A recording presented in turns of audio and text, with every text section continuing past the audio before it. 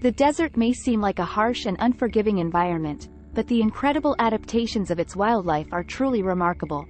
From camels with humps that store water to snakes that can sense prey from miles away, these animals have developed unique characteristics that allow them to thrive in their habitat. One example is the desert tortoise, which can survive without water for up to a year by storing it in its bladder. The Gila monster has evolved a venomous bite that makes it almost impervious to predators, while the kangaroo rat never has to drink water, getting all the hydration it needs from the dry seeds in its diet.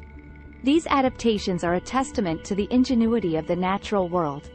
So join us as we explore the remarkable adaptations that make survival in the desert possible.